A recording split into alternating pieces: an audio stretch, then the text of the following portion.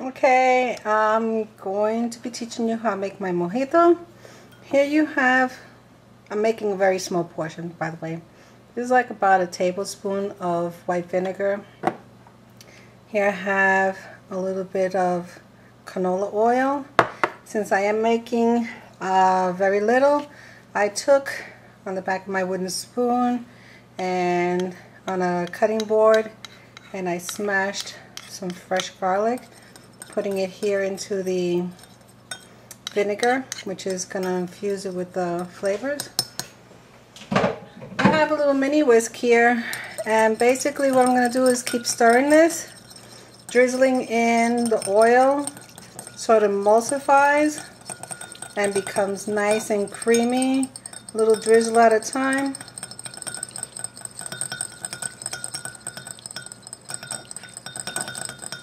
You can see it's starting to thicken up.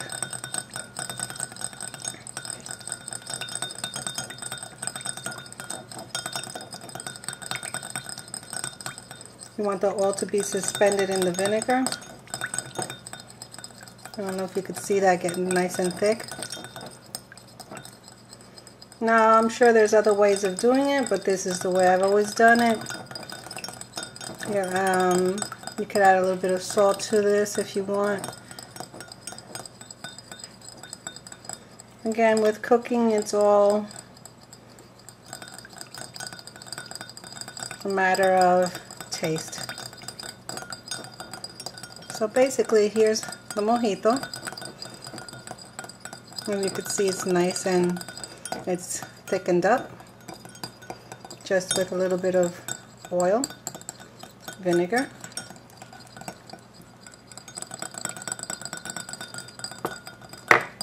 Now as far as the oil is concerned, use a couple tablespoons and you use as much as you want to make and as you can see there,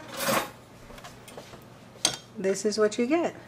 A nice emulsified dressing that you drizzle over your plantains.